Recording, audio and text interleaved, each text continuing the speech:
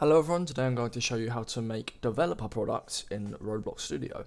So what we're going to do is make a plus 100 cash and plus, uh, 250 cash uh, developer product. You can make as many as you want and for whatever you want. I'm just going to show that as an example.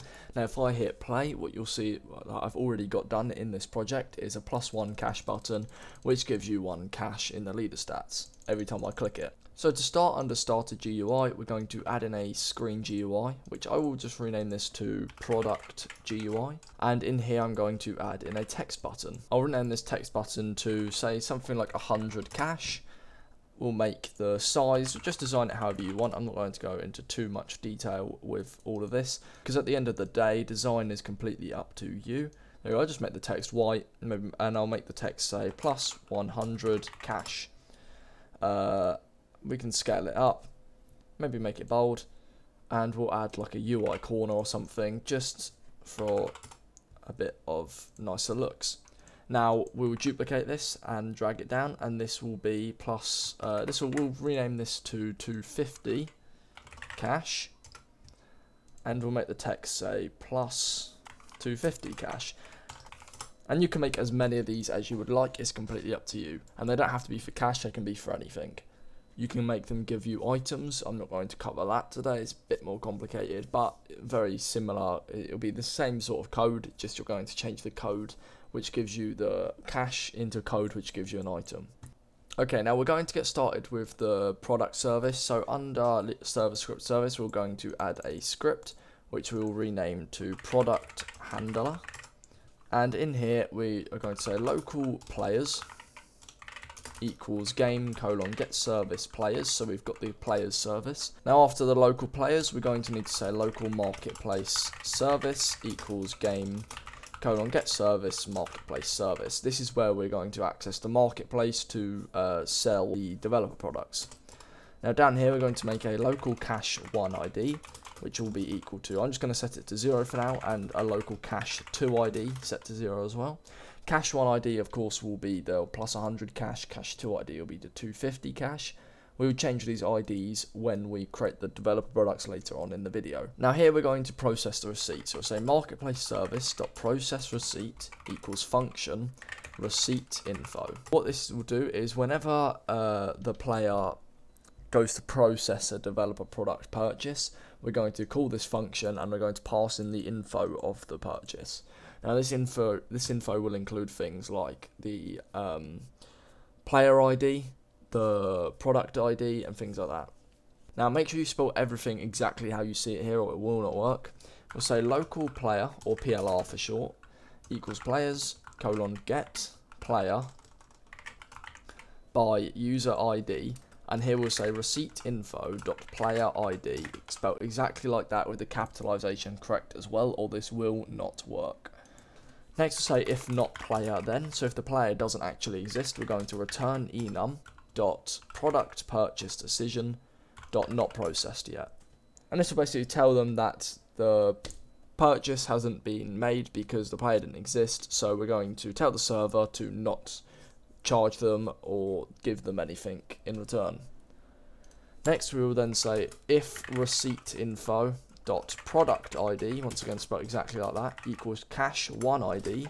Then here will be our code. We'll come back to that in a minute. And then we'll say else if receipt info dot product ID equals cash two ID.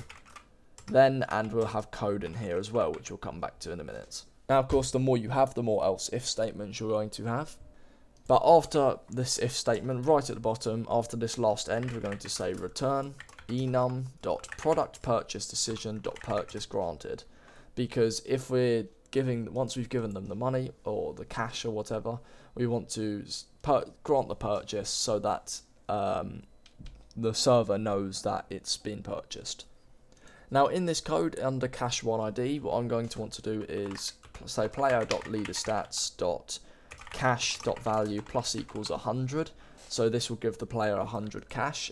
You do whatever you want the product the product to do. And this one here, I'll say player.leaderstats.cash.value plus equals 250. because 100 and 250 we want to give them the correct amount of cash.